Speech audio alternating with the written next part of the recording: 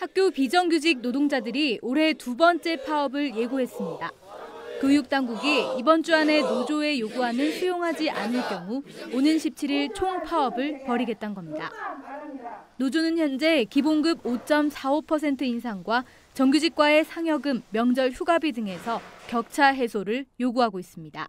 비정규직 제도를 없애는 법제화하고 그다음에 임금을 합리적으로 어느 정도 이제 개선하는 그런 임금 체계 이런 것이 마련돼야 된다고 생각합니다. 경남도 교육청은 학교 비정규직 문제가 경남만의 문제는 아니라며 전국 시도교육청과 균형을 맞춰 계속해서 처우 개선에 노력하겠다고 밝혔습니다. 또 교섭이 결렬돼 발생할 파업에 대비해 대책 마련에 나섰습니다. 한해 5.4% 급격한 인상은 재정에 부담이 되니까 조금씩 조금씩 좀그 상승시키는 걸로 했으면 좋겠다는 그런 내용입니다.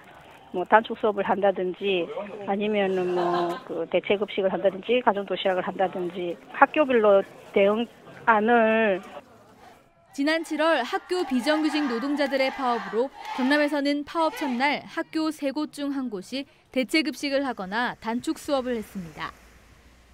10일부터 이틀간 진행되는 교섭에서 또다시 교육당국과 학비노조가 타협점을 찾지 못하면 오는 17일 파업으로 교육 현장의 혼란은 불가피할 전망입니다.